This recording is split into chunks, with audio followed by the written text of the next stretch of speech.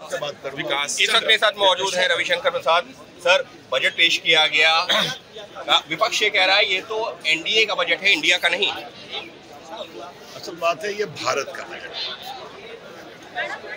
India गठबंधन वाले अभी तक भारत को नहीं समझते किसानों की बात है या नहीं रोज़गार ही बात है या नहीं मुद्रा को 10 से 20 लाख लोन की मियाद बढ़ाई गई कि नहीं बढ़ाई गई मध्यम वर्ग की चिंता है या नहीं?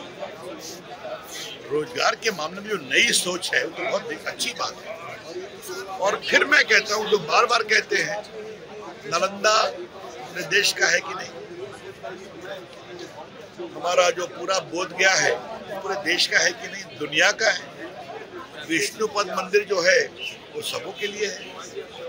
ये तो पूरे देश के टूरिज़्म को बढ़ाने पटना पूर्णिया सड़क बनेगी तो क्या स्टडी सिक्योरिटी नहीं होगा नेपाल के बॉर्डर पर अगर बाढ़ की चिंता की नेपाल की नदियाँ आती है तो सबको परेशान करती है। ये सोचने का कोई मतलब नहीं है। हम बहुत संतुष्ट हैं इससे। बहुत बधाई। संतुष्ट हैं इससे क्योंकि ये जो पूरे देश का है बजट कहना है रविशंकर प्रसाद का। Ankit Gupta ABP news Delhi. For exclusive and insightful videos, subscribe to our new channel ABP Live Premium.